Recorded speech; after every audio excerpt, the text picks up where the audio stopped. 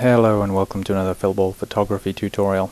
not really sure that I would call this a tutorial, but uh, I wanted to just uh, walk you through a modification I made to these images here and um, I guess I should start with what I started with. This is what I started with. This is a photo of my friend's S2000. We did a shoot for a online blog um, and I liked it. This was kind of my favorite uh, shot actually of the shoot.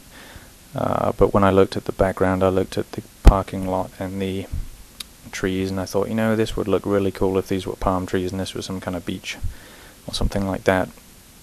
Uh, so I went onto Flickr and had a look around and I found this image here uh, which I'm just going to back up on. This is the image that I found and um, I've actually linked to it in the description on my blog.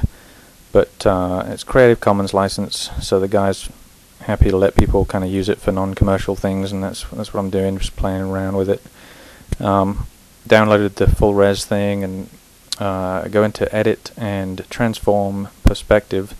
And what you do then is you pull the corners down um, and it um, if I just uh, step forward here I pulled the corners down just kind of went by feel basically um, and just made this uh, distort so that it looks like these trees are smaller in the distance.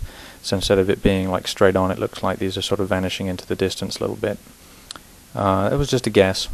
Um, I was happy with what I got, so I then selected all and copied, brought them over here into a layer. I'm going to turn that layer on now. You, you, can see it's kind of a little different. I um, I still did a transform to it and pulled it up and rotated it to make it um, where the uh, horizon was roughly in about the right kind of place. And then I uh, desaturated the blues with the hue uh, hue saturation uh, controls and um, and then I also added a layer mask to um, clear out the image in front of the car. Um, and that's pretty cool because also um, it doesn't ma then matter what I do to that layer it just cuts out just that little bit. Um, because the next thing I had to do was create this motion blur. And that's kind of tricky because the vanishing point is off the page. So what I had to do was go into uh, image canvas size um, and extend the canvas way out to the left and give myself a place in the image to put the vanishing point. And then when you go to do the filter blur motion blur uh, to radial blur uh, with the zoom method you can put your um, blur center way out on the left side of the the image um, roughly approximating where the vanishing point is. Um, and I just gave it a blur of 5 in this case. I probably could have gone a little bit less than that um, and it would have worked anyway.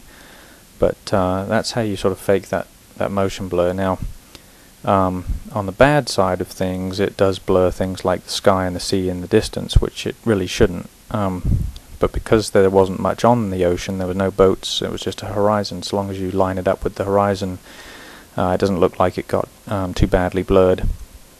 Um, and then there was one more thing to do. In the original image, I had the sun peeking through these trees and uh, causing this sort of lens flare, and I really liked that about the original image. Uh, but of course dropping this in didn't didn't help that. So I um, I let some of the um, sunlight back through up here um, and then I added a lens flare to it again. It's just a fake one this time. So I copied this. I've got like a library of lens flares that I can just throw on top of images. Uh, copied this on to a new layer and then set that layer to linear dodge. So the black stuff disappears. It only adds what is not black and um, that's the lens flare added in. Uh, so with some uh, with some careful distortion and um, some hue and saturation uh, changes, uh, I also bumped the greens up a little bit, try and match the green of the grass behind him. Um, but really, I mean, that image was just made for this because um, it, the the ocean was empty, the trees were there, the grass was green at the bottom of the image, the sky was blue, and that was it. It was really simple. Um, and then of course because he was driving past trees on the actual photo that's what's reflected and you can't really see that those aren't pine, uh, uh, those aren't palm trees because uh, you can't see that much detail. Uh, the grass is behind the car as needed uh, so it really all just just fit perfectly into place. And um, kind of like the result but I really just thought I wanted to um, talk you through the process of that. Um, this is kind of stuff that gets done all the time. Different backgrounds get dropped in fancy skies get dropped in um, in Photoshop um, to make what was otherwise a pretty ordinary location look pretty exotic. So anyway, hope you liked it. Thanks.